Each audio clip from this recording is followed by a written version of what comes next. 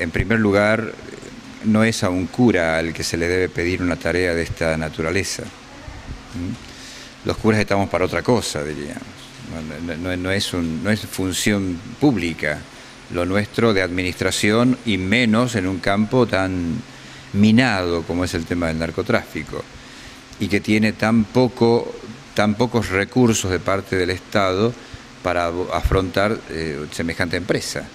De hecho, estuvo acéfalo Cedronar por mucho tiempo y los que estaban al frente se quejaban de que no tenían los recursos suficientes para trabajar.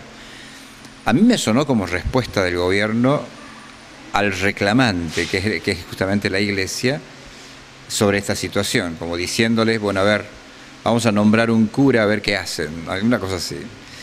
Y, este padre, quizás muy amigo de esta gente, de, quienes están ahora en este momento en el gobierno, accedió, y me parece que es imprudente la decisión que él ha tomado, pero él asume a título personal, él no, él no es representante de la iglesia en esa función.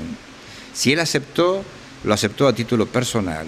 No sé cómo habrá sido el diálogo que habrá tenido con, eh, con, su, con su obispo, pero eh, en, definitiva es a título personal y de hecho su obispo salió a decir esto justamente.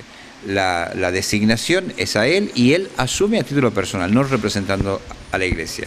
Yo creo que eh, es imprudente de parte de él asumir una responsabilidad de este tipo. No sé si estará capacitado para esto los curas no estamos capacitados para hacer este, tareas administrativas de esa naturaleza y menos para abordar una empresa de esa magnitud. Y, me parece que también es imprudente de parte de aquellos que lo han designado.